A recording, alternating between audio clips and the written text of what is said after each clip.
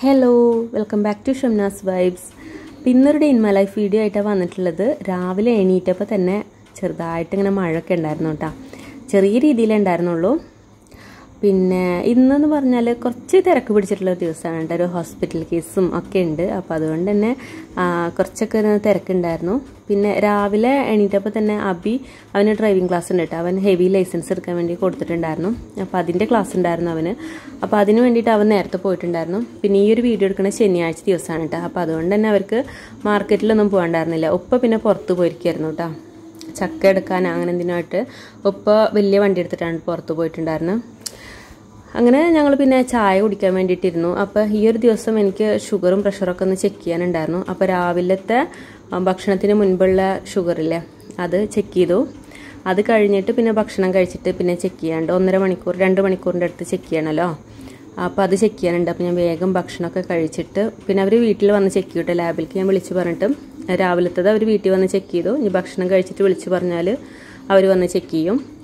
പിന്നെ അന്നത്തെ ദിവസം രാവിലെ ദോശയും ചിക്കൻ കറിയായിരുന്നു ഉണ്ടായിരുന്നത് കേട്ടോ. അപ്പം ഞാനത് കഴിച്ചുകൊണ്ടിരിക്കുകയാണ്. അപ്പം അതിന്റെ ഇടയിൽ ഇച്ചപ്പുറത്ത് നിന്ന് വിക്രസ് അടിക്കുന്നുണ്ട് കേട്ടോ. എന്നെ അങ്ങനെ വികൃതി കാട്ടിക്കൊണ്ടിരിക്കും. മുഖത്ത് ഇങ്ങനെ പിടിച്ചിട്ട് പിച്ച് അല്ലെങ്കിൽ കവിൾ പിടിച്ച് വലിക്കുകയൊക്കെ ചെയ്തുകൊണ്ടിരിക്കും. ഭക്ഷണം കഴിക്കൽ കഴിഞ്ഞപ്പോൾ ഞാനിവിടെ സിറ്റ് ഔട്ടൊക്കെ ഒന്ന് അടിച്ചൊരിയിട്ട് അടച്ച് അടിച്ച് തുടച്ച് വൃത്തിയാക്കുകയാണ്. അപ്പോൾ നമ്മൾ സിറ്റ് ഔട്ടിൽ സ്റ്റെപ്പിൽ അങ്ങനെ മഴയൊക്കെ പെയ്യണതല്ലേ? അപ്പോൾ മണ്ണിങ്ങനെ കയറി കിടക്കും ഉപ്പയണിച്ചെങ്കിൽ അവിടെ കല്ലുപൊടിയൊക്കെ കൊടുന്നിട്ടിട്ടുണ്ട്. അപ്പം അതുകൊണ്ട് തന്നെ ഏത് നേരം ഇവിടെ അങ്ങനെ പൊടികളായി കിടക്കും. അപ്പോൾ അതൊക്കെ ഇങ്ങനെ അടിച്ച് കഴുകി തുടച്ച് വൃത്തിയാക്കി ഇട്ടിട്ടാ പിന്നെ ഇപ്പോഴത്തെന്ന് പറഞ്ഞാൽ മഴക്കാലമായതിനു ശേഷം ഈച്ചയുടെ ശല്യം ഭയങ്കരമാണ് കേട്ടോ. എത്ര വൃത്തിയാക്കിയിട്ടാലും ഇങ്ങനെ ഈച്ച വന്നിരിക്കുമ്പോൾ പിന്നെ നമുക്കൊരു വൃത്തിയില്ലാത്ത പോലെ കിടക്കുള്ളൂ കേട്ടോ. അപ്പം ഞാൻ തുടച്ചിട്ട് നിലത്താണ് ഈച്ചൊക്കെ ഇങ്ങനെ വന്നിരിക്കുന്നത് അപ്പം അത് കാണുമ്പോൾ ഇങ്ങനെ ഒരു അതി ഒരു വൃത്തികേട് പോലെ തോന്നുക കേട്ടോ. അങ്ങനെ പിന്നെ ഒന്നര മണിക്കൂറൊക്കെ കഴിഞ്ഞപ്പോൾ അവർ വീണ്ടും ചെക്ക് ചെയ്യാൻ വേണ്ടി വന്നു. അപ്പോൾ അവിടെ പെരിങ്ങോടുള്ള ലാബിൽ കണ്ട ഞാൻ വിളിച്ച് പറഞ്ഞിട്ടുണ്ടായിരുന്നത്.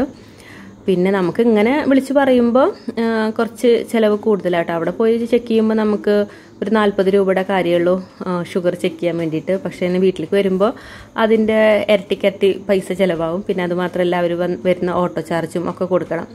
പിന്നെ അബില്ലാത്തതല്ലേ? പിന്നെ കോട്ട വിളിച്ചിട്ട് പോകാൻ വയ്യ എന്ന് വിചാരിച്ചിട്ടാണ് ഞാൻ അവരെ വീട്ടിലേക്ക് വിളിച്ചിട്ടുണ്ടായിരുന്നത്. അങ്ങനെ അവർ ചെക്ക് ചെയ്തിട്ട് പോയി. പിന്നെ ഉച്ചയാവട്ടെ നമുക്ക് റിസൾട്ട് കിട്ടാനായിട്ട്. പിന്നെ നേരെ അടുക്കളയിൽ കയറി ഞാൻ പറഞ്ഞില്ല എന്നാൽ ഹോസ്പിറ്റൽ കേസ് ഉണ്ട്. അപ്പോൾ വേഗം പണികളൊക്കെ നോക്കണം. പിന്നെ ഉമ്മ ഉണ്ടായിരുന്നു അടുക്കളയിൽ അപ്പോൾ പയറുപ്പേരിക്കുള്ളതൊക്കെ റെഡിയാക്കി വെച്ചിട്ടുണ്ട്. പിന്നെ ഉമ്മ ചെയ്തോളൂ കേട്ടോ ബാക്കിയൊക്കെ. പിന്നെ സാമ്പാറിനുള്ള കഷ്ണങ്ങളൊക്കെ ഉമ്മ നുറുക്കിക്കൊണ്ടിരിക്കുന്നുണ്ട് അതിന്റെ ഇടയിൽ അപ്പോൾ അപ്പോഴാണ് ടിച്ച് വന്ന് പറഞ്ഞത് ഉമ്മ എന്തെന്ന് രാഗിപ്പൊടി കുറുക്കാത്തതെന്ന്? അങ്ങനെ ഞാൻ വേഗം അതെടുത്തിട്ട് കുറുക്കാൻ വേണ്ടി നിന്നു. അപ്പോൾ അവനിപ്പോൾ നല്ല ഇഷ്ടമാണ് കേട്ടോ. അപ്പം ഞാൻ ചെയ്യാനും മടിച്ചിരുന്നാൽ തന്നെ അവൻ വന്ന് ചോദിക്കും വേണം പറഞ്ഞിട്ട് എന്നെ കൊണ്ടത് രാഗിപ്പൊടി ഇങ്ങനെ കുറുക്കാൻ പറഞ്ഞിട്ട് എന്നെ കൊണ്ട് ചെയ്യിക്കും. അപ്പം ഞാൻ അവനക്ക് കുറച്ച് കൊടുത്തു. അത് കഴിഞ്ഞിട്ട് പിന്നെ ഞാനും കഴിക്കാൻ വേണ്ടിയിട്ട് എടുത്തു കേട്ടോ. പേട നേരത്തെ ഇതിങ്ങനെ കഴിക്കുമ്പോൾ നമുക്കൊരു വിശപ്പിന് ഒരു ആശ്വാസം കിട്ടും. പിന്നെ അത് കഴിഞ്ഞപ്പോൾ ഇന്ന് മത്തിയാണ് കേട്ടോ കിട്ടിയിട്ടുള്ളത്. അപ്പോൾ തലേന്ന് മേടിച്ച് വെച്ചതാണ്. അപ്പോൾ ഐസ് പോകാൻ വേണ്ടിയിട്ട് വെള്ളത്തിലിട്ട് വെച്ചിട്ടുണ്ടായിരുന്നു. അപ്പോൾ ഇനി അതൊന്ന് കഴുകി വൃത്തിയാക്കി എടുത്തിട്ടുണ്ട്. അതിന് ശേഷം ഇതേ മസാല തേച്ചിരിക്കുകയാണ്. മസാല തേച്ചിട്ട് ഇതുപോലെ ചെറിയൊരു പാത്രത്തിലേക്ക് തന്നെ മാറ്റി വെക്കുന്നുണ്ട് കേട്ടോ ആവശ്യത്തിന് എടുത്തിട്ട് വറുത്താൽ മതിയല്ലോ. അത് കഴിഞ്ഞ് ഞാൻ മുകൾക്ക് പോയിട്ടാ. അപ്പോൾ ഷാലുവിന്റെ ഒരു പാന്റ് കഴുകാനുണ്ടായിരുന്നു. അപ്പോൾ മഴ ഇങ്ങനെ പെയ്തുകൊണ്ട് നിൽക്കണ കാരണം ഇത് അത്യാവശ്യം നല്ല കനമുള്ള പാന്റാട്ടോ ഒരു വെൽവെറ്റിന്റെ പാന്റാണ് നല്ല വെയിറ്റും ഉണ്ട് അത്. അപ്പോൾ നല്ല വെയിലുള്ള ദിവസം കഴുകിയിട്ടാലേ പെട്ടെന്ന് ഉണങ്ങി കിട്ടുള്ളൂ. ഇല്ലെങ്കിൽ നല്ല രീതിക്ക് ഉണങ്ങിയില്ലെങ്കിൽ ഒരു ജാതി സ്മെല്ല് ഉണ്ടാവുമല്ലോ. അപ്പോൾ എന്തായാലും പിറ്റേ ദിവസം നിൽക്കാറുണ്ട് നമുക്ക്. അപ്പോൾ അന്നേക്ക് വേണ്ടത്. അപ്പോൾ ഞാൻ എന്തായാലും കഴുകി വാഷിംഗ് മെഷീനിൽ തന്നെ ഉണക്കിയിട്ട് ഇട്ടതാണ് കേട്ടോ. പിന്നെ ഇത് അവിടെ കിടന്ന് ഉണങ്ങിക്കോളും. അപ്പോൾ ആ ഒരു സമയത്ത് ഞാൻ പുതിയൊരു ഡ്രസ്സ് എടുത്തിട്ടുണ്ട് കേട്ടോ. ഒരു ഗൗണാണ് എടുത്തിട്ടുള്ളത്. സിമ്പിളായിട്ടുള്ളൊരു ആട്ടാ. അതുപോലെ നെക്കിൽ ചെറിയൊരു ബോർഡർ വർക്ക് ഉണ്ട്. പിന്നെ അതുപോലെ തന്നെ സ്ലീവ്സിലും ഉണ്ട്. ബാക്കിയൊക്കെ പ്ലെയിൻ ആണ്. അപ്പോൾ അത് കൈയുടെ ലെങ്ത്ത് കുറച്ച് കൂടുതലാണ്. അപ്പോൾ അതൊന്ന് കട്ട് ചെയ്തിട്ട് ഈ ലേസ് ഒന്ന് കയറ്റി വെക്കണം. അപ്പോൾ സെയിം കളർ നൂലില്ലാത്തതുകൊണ്ട് ഞാൻ അങ്ങനെ മടിച്ച് നിൽക്കരുന്നു ലാസ്റ്റ് ഉള്ളൊരു നൂൽ വെച്ച് അഡ്ജസ്റ്റ് ചെയ്തു. പിന്നെ ടോപ്പ് പ്ലെയിൻ ആയതുകൊണ്ട് തന്നെ ഷാൾ ഇങ്ങനെ കുറച്ച് വർക്കായിട്ടുള്ള വരുന്നതാണ് കേട്ടോ അങ്ങനെ നമ്മൾ കൈയൊക്കെ വെട്ടിക്കളഞ്ഞു. ആവശ്യത്തിനുള്ള കൈയാക്കിയിട്ടുണ്ട് പിന്നെ അതുപോലെ തന്നെ ആ ഒരു ലേസൊക്കെ ഇല്ലേ? കൈന്റെ തലപ്പത്ത് വെക്കാനുള്ള ലേസില്ലേ അതൊക്കെ ഒന്ന് അഴിച്ചെടുത്തിട്ടുണ്ട് കേട്ടോ അതിന് ശേഷം ഞാനിപ്പോൾ അത് തയ്ക്കാൻ വേണ്ടിയിട്ടിരുന്നു. അപ്പോൾ ഏകദേശം അവർ സ്റ്റിച്ച് ചെയ്തിട്ടുള്ള ആ ഒരു രീതിയിൽ തന്നെ കേട്ടോ സ്റ്റിച്ച് ചെയ്തെടുക്കാൻ നോക്കണത്. അപ്പോൾ കുറച്ചായിട്ട് ഇങ്ങനെ മെഷീന്റെ മീതെ അങ്ങനെ ഇരിക്കാറില്ല. അപ്പോൾ അതുകൊണ്ട് ഇങ്ങനെ ചെറിയൊരു സ്റ്റിച്ച് ശരിക്ക് വരാത്തതിന്റെ ഒരു പ്രശ്നം ഉണ്ടായിരുന്നു കേട്ടോ കറക്റ്റായിട്ട് ഒരേ ലെവലിൽ വരാത്തതിന്റെ ഒരു പ്രശ്നം ഉണ്ടായിരുന്നു. പക്ഷേ കുറച്ചിങ്ങനെ അടിച്ചപ്പോൾ കൊണ്ട് ഓക്കെ ആയിട്ടാ അങ്ങനെ ഒരു കുറച്ച് നേരത്തെ പരിശ്രമങ്ങൾക്കൊടിയിൽ കൈ ശരിയാക്കിയെടുത്തു. പിന്നെ ഉടൽ നല്ല വണ്ണം കുറക്കാനുണ്ടായിരുന്നുണ്ട്. അതായത് ബോഡി പാർട്ട് നല്ല വണ്ണം കുറക്കാനുണ്ടായിരുന്നു. ത്രിബ്ലെക്സിലായിരുന്നു കേട്ടോ ഡ്രസ്സ് ഉണ്ടായിരുന്നു. അപ്പോൾ അത് നല്ല രീതിക്ക് തന്നെ വണ്ണം കുറച്ച് മൂന്നാൽ പ്രാവശ്യം ഇട്ടിട്ടാണ് കേട്ടോ വണ്ണം ഒന്ന് കറക്റ്റായിട്ട് കിട്ടിയത്. അപ്പോൾ ഇതേ സ്ലീവ്സൊക്കെ നമ്മൾ ഇത് ഈ ഒരു രീതിയിലാക്കിയിട്ടുണ്ട്. പിന്നെ ഉടൽ കണ്ടില്ലേ ഇതേപോലെ നല്ല രീതിക്ക് വണ്ണം കുറച്ച് എടുത്തിട്ടുണ്ട് കേട്ടോ അങ്ങനെ അതൊക്കെ അവിടെ സെറ്റാക്കി വെച്ചു. അതിനുശേഷം ഇനി നമുക്ക് ബെഡ്ഷീറ്റ് ഒന്ന് മാറ്റണം കേട്ടോ. ഇന്ന് രാവിലെ ഇച്ചുവിന്റെ കയ്യിൽ നിന്ന് കുറച്ച് വെള്ളം ഇതിൽ പോയിട്ടുണ്ടായിരുന്നു. അപ്പോൾ പിന്നെ എന്തായാലും ബെഡ്ഷീറ്റ് കഴുകാനായിട്ടുണ്ട്. അപ്പോൾ ഞാൻ എന്തായാലും ബെഡ്ഷീറ്റ് മാറ്റിയിട്ട് പുതിയ ബെഡ്ഷീറ്റ് എന്തായാലും വിരിച്ചിട്ടാന്ന് വിചാരിച്ചു. അപ്പോൾ അതൊക്കെ ഒന്ന് മാറ്റിയിട്ട് കഴുകാൻ കൊണ്ടുപോയിട്ട് ഇടുകയാണ്. പിന്നെ വെള്ളം പോയിട്ടുള്ളതല്ലേ നമ്മൾ ബെഡിൽ അപ്പോൾ എന്തായാലും ചിലപ്പോൾ അതിന്റെ ഒരു സ്മെല്ല് ഇങ്ങനെ എടുക്കും. അങ്ങനെ ഒരു തരം കുറച്ച് നേരം കിടന്ന ഒരു ജാതി സ്മെല്ല് എടുക്കുമല്ലോ കറക്റ്റ് ഉണങ്ങിയിട്ടില്ലെങ്കിൽ. അപ്പോൾ ഞാൻ എന്തായാലും റൂം സ്പ്രേ ഒന്ന് ജസ്റ്റ് സ്പ്രേ ചെയ്തിട്ടിട്ട് അവിടുന്ന് കുറച്ച് കഴിഞ്ഞിട്ട് നല്ല ഫാൻ ഇട്ടിട്ട് അതുകൊണ്ട് ഉണക്കിയെടുത്തു കേട്ടോ അതിനുശേഷം പുതിയ ബെഡ്ഷീറ്റൊക്കെ വിരിച്ചു.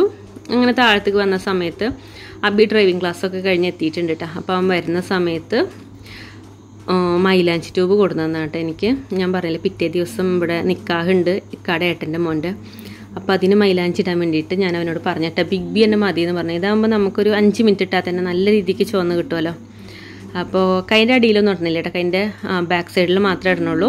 അപ്പോൾ ഇതേ ഇതുപോലെ നമ്മൾ മൈലാഞ്ചി സെറ്റാക്കിയിട്ട് എനിക്ക് മൈലാഞ്ചി ഇടാനൊന്നും വലിയ കാര്യം കാര്യമായിട്ട് അറിയില്ല. അപ്പോൾ ഒരു വിധത്തിൽ നമ്മളാണ്ട് തട്ടിക്കൂട്ടിയതാണ് കേട്ടോ. വലിയ കുഴപ്പമില്ലാന്ന് തോന്നുന്നു എന്തായാലും ഇത് രണ്ട് ദിവസമേ നിൽക്കുള്ളൂ കേട്ടോ. ബിഗ് ബി ആയതുകൊണ്ട് തന്നെ പെട്ടെന്ന് തന്നെ അത് പോവുകയും ചെയ്യും. പിന്നെ അവൻ വരുമ്പോൾ ബിരിയാണി വാങ്ങിച്ചു കൊടുത്തിട്ടുണ്ടായിരുന്നു ഞാൻ ഉച്ചയ്ക്ക് സാമ്പാറും ചോറൊക്കെ കൂട്ടിയിട്ട് പയറുപ്പേരിയൊക്കെ കൂട്ടി കഴിക്കണം എന്ന് വിചാരിച്ചാണ്. പക്ഷേ അവൻ ബിരിയാണി കൊടുത്തപ്പോൾ ഞാൻ പിന്നെ കുറച്ച് ബിരിയാണി എടുത്ത് കഴിച്ചു. അങ്ങനെ നമ്മൾ കുളിയൊക്കെ കഴിഞ്ഞ് ഇനി ഹോസ്പിറ്റലിൽ പോകാൻ വേണ്ടിയിട്ട് ഇറങ്ങട്ടെ അപ്പോൾ ഇതേ നമ്മുടെ മൈലാഞ്ചി നല്ല രീതിക്ക് ചോത്ത് വന്നിട്ടുണ്ട് കേട്ടോ. ഞാനൊരു പത്ത് മിനിറ്റ് ഇട്ടിട്ടുണ്ടായിരുന്നു കേട്ടോ. അത് മൈലാഞ്ചി ഇട്ട് ഭക്ഷണമൊക്കെ കഴിക്കാൻ വേണ്ടിയിട്ടിരുന്നു അത് കഴിഞ്ഞിട്ട് കുളിക്കാൻ സമയത്ത് കളഞ്ഞതുണ്ടായിരുന്നു. അപ്പോഴത്തേനും നല്ല രീതിക്ക് ചുവന്ന് വന്നിട്ടുണ്ടായിരുന്നു. അങ്ങനെ നമ്മളെല്ലാവരും കൂടിയിട്ട് ഇനി ഹോസ്പിറ്റലിൽ പോവാണ്. അപ്പോൾ മക്കളെയും കൊണ്ടുപോകുന്നുണ്ട് കേട്ടോ.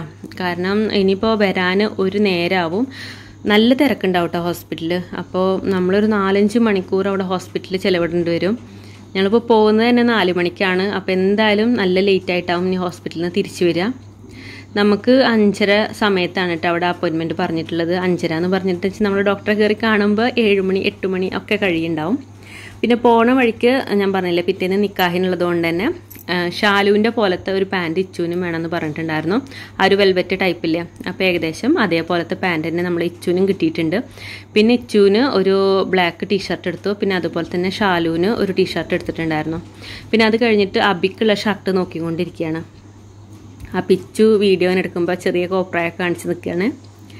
അത് കഴിഞ്ഞിട്ട് ഞങ്ങൾ ഇവിടെ കൂറ്റനാടനുള്ള ഹോസ്പിറ്റൽ ക്യാന്റീൻ ഉണ്ട്. അവിടെ വന്നിട്ട് മസാല ദോശയും ഞങ്ങളെല്ലാവരും മസാല ദോശ കഴിച്ചു. ഉമ്മ നെയ്റോസ്റ്റാണ് കേട്ടോ കഴിച്ചിട്ടുണ്ടായിരുന്നു ഉമ്മക്ക് മസാല ദോശ ഇഷ്ടമല്ല അതിലെ മസാല ഉമ്മക്ക് ഇഷ്ടമല്ല കേട്ടോ അപ്പോൾ അതുകൊണ്ട് ഉമ്മ നെയ്റോസ്റ്റ് കഴിച്ചു. അങ്ങനെ ഇവിടുത്തെ മസാല ദോശയും നെയ്റോസ്റ്റും ഒക്കെ അടിപൊളിയാണ് കേട്ടോ ആരെങ്കിലും ഈ കൂറ്റനാട് ഭാഗത്തുള്ളവരൊക്കെ ഹോസ്പിറ്റൽ ക്യാന്റീനിൽ പെട്ടെന്ന് കഴിച്ചു നോക്ക്. റേറ്റും നാൽപ്പത് രൂപ വരുന്നുള്ളൂ കേട്ടോ മസാല ദോശയ്ക്ക്. മുപ്പത് രൂപ വരുന്നുള്ളൂ നെയ്റോസ്റ്റിന്. അത്യാവശ്യം കഴിക്കാനുള്ളതുണ്ടാവും. അപ്പോൾ ഈ ഭാഗത്തുള്ളവരൊക്കെ എന്ത് വെച്ചെങ്കിൽ എന്തായാലും ഒന്ന് ട്രൈ ചെയ്ത് നോക്കട്ടോ അങ്ങനെ അവിടുന്ന് ഫുഡൊക്കെ കഴിച്ച് ഇറങ്ങി.